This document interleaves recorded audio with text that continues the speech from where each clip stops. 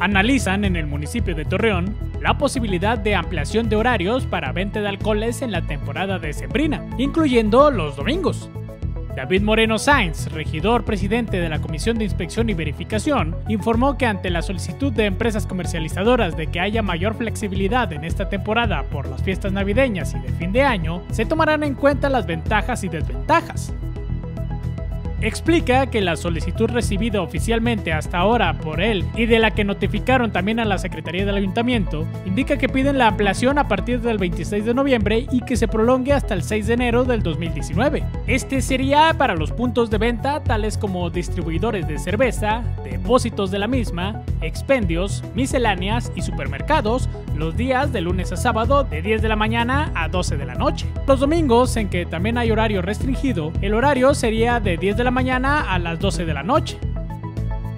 Señalan a los centros de consumo tales como bares, cantinas, cervecerías, discotecas, ladies bar y fondas con venta de cerveza y los domingos de 10 de la mañana a 12 de la noche también. Dijo que analizarán la propuesta para ver la postura de los ediles y sobre todo a raíz de las cifras de los accidentes de tránsito que ocurren en la ciudad, la capacidad para instalar más puestos de revisión con los alcoholímetros y considerando que en estos momentos las fuerzas de seguridad se encuentran realizando el operativo Navidad Segura.